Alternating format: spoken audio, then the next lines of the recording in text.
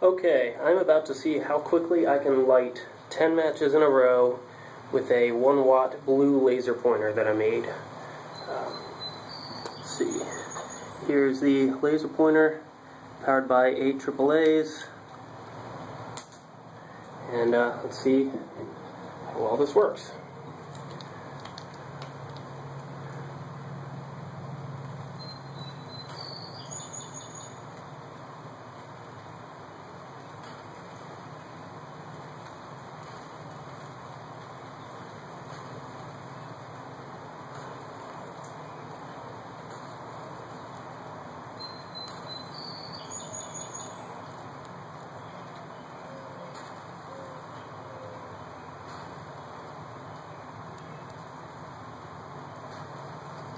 Alright, so there you have it.